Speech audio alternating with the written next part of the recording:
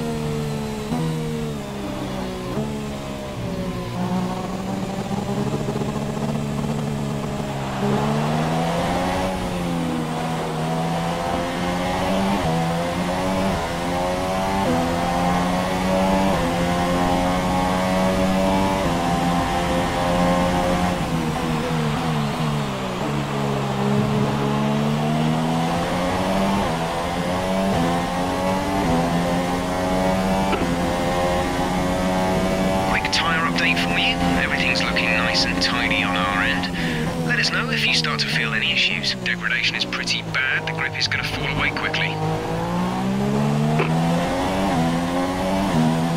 Alright, consensus in the garage is that it's probably about time for the slick tyre now. It will be slippery, but it will probably be quicker.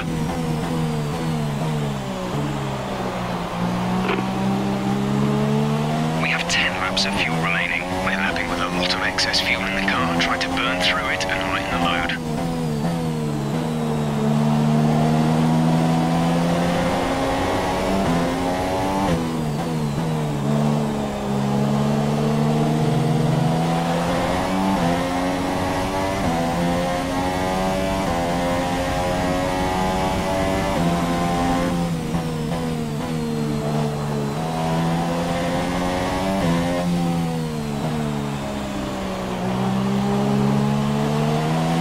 I definitely think we need to stay on this tyre a bit longer, but there's no question that the track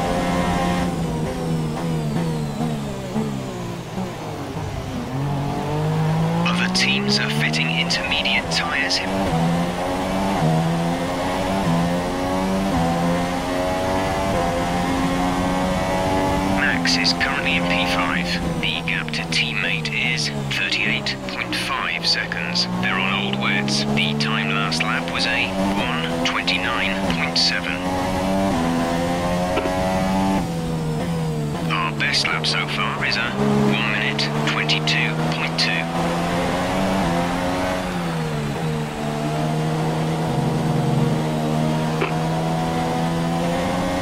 is behind you. Okay, the gap behind is 20.6 seconds. They're on all we think they've got one more stop. The time last lap was a 129.1. We have five laps of fuel remaining. We're overfueled. We're carrying too much fuel.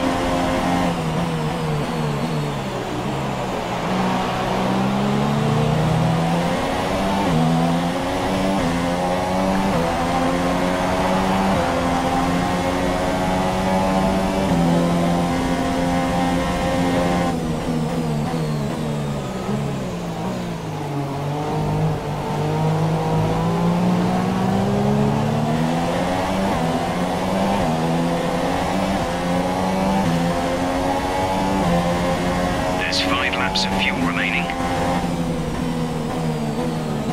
We think there's a viable strategy change available to us. Would you like to keep to the current plan or try the new one? Understood, copy that.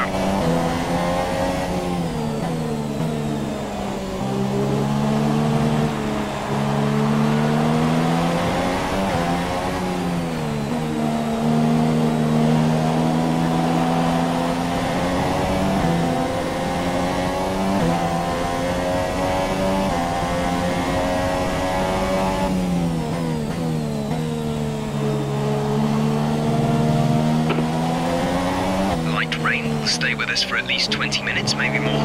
Light rain is here to stay.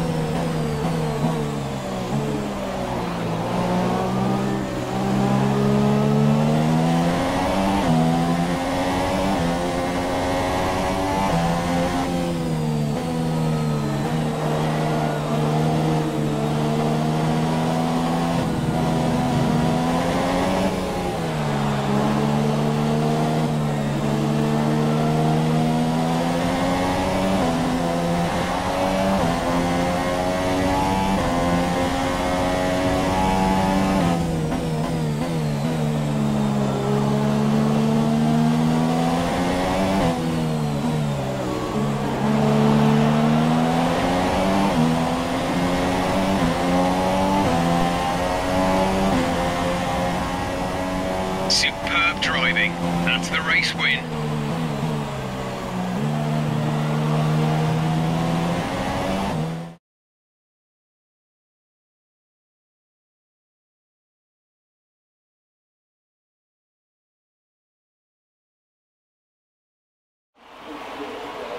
Brilliant stuff from Red Bull today.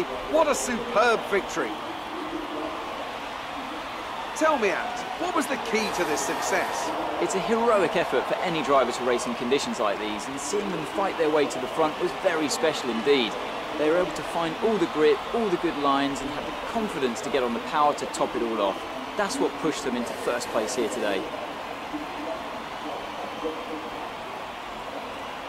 Well, I'm thoroughly exhausted after the excitement of that race, but I'm sure it's nothing compared to our drivers here. They've worked hard to make it up there, and it's great to see them make their way out onto the podium.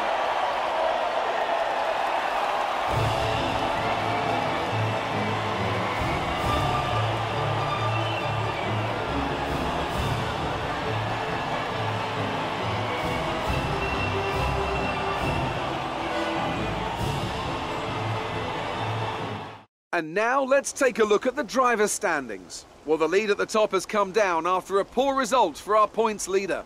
Now then, Anthony Davidson, who was your driver of the day? Sebastian Vettel. He was a class above today, just an absolute pleasure to watch. On to the constructors then. Ferrari extend their lead at the top of the championship. Meanwhile, Toro Rosso's strong weekend allows them to continue their march up the table.